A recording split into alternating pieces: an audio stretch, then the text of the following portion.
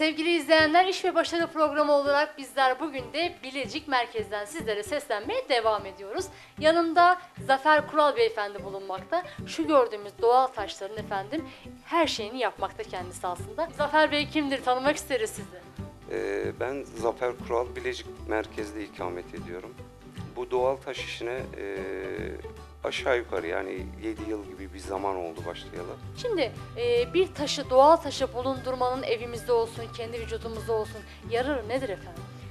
Ee, Doğal taşlar yani belli başına kişide pozitif enerji, genelde moral veya pozitif enerji veya işte e, ev ortamında e, bu televizyon olsun, cep telefonları olsun, elektronik ortamda e, ortamın yaydığı e, radyoaktif e, dalgaları daha çok bu taşlar falan engellediğini biliyoruz. Yani e, bu yönüyle belli başına bir faydası var. Artı sağlık boyutu var tabii.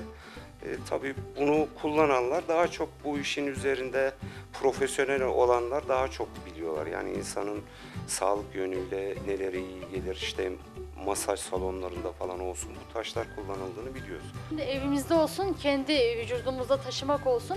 E, bizler bunu neye göre seçimini yapıyoruz? Kişinin ruh haline göre mi, burcuna göre mi? Ya e, kişilerin tabii e, daha çok mesela bazıları dediğiniz gibi burçlarına göre arıyorlar taşları. Tabii onu araştırıp burçlarına karşılık gelen taş türlerini öğrenebilirler, onları alabilirler.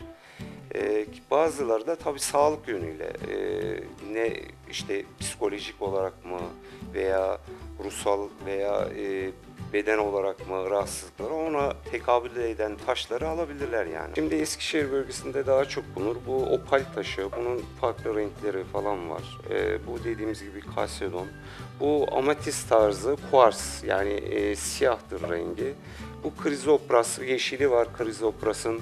Bunlar da ışıltıları var, parlıyorlar. Tabii bunlar Bilecik'in taşı. Zaten bu krizopras sadece Bilecik'te bilmiyorum. Ben dünyada da duymadım. Ama ee, tabii benim eksikliğim varsa herkes maruz gö- mazur görsün. Mesela onyx'ler var, ee, kehribar var. Sıkıntıya iyi gelen bir taş diye bilinir. Tabii tabii e, onyx olsun.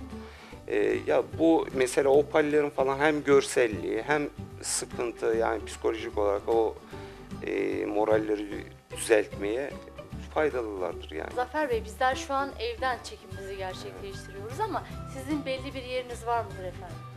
Ee, şu anda e, dükkan olarak yok ama e, bu işleme, e, taşı işleme konusunda daha e, eksiklerimiz var.